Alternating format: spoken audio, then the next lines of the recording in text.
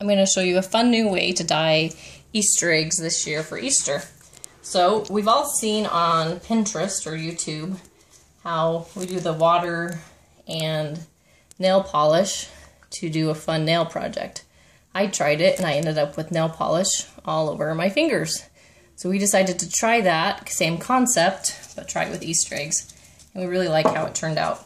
To start out, you need uh, room temperature water.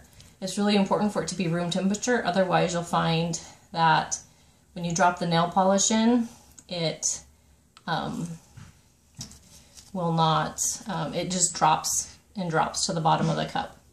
So what you're going to do is you're just going to pick your different nail colors. So make sure it's room temperature water.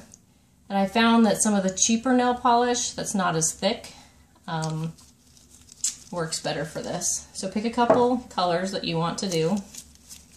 And you can just make sure you use a cup that you don't care if it gets ruined. So this is just a plastic cup because the nail polish will stick to everything.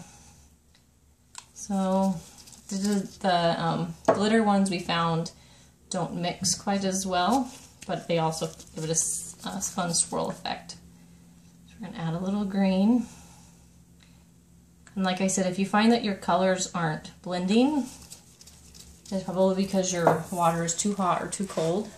So then we're going to grab it and we're just going to give it a little squiggle to give it a fun tie-dye effect. And then you can take a skewer if you want and you can drag those colors where you want them to be.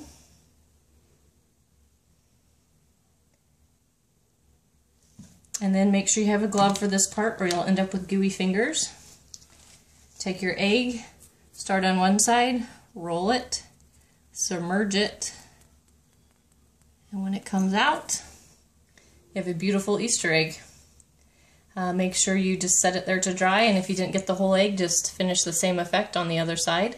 Hope you like this new trick.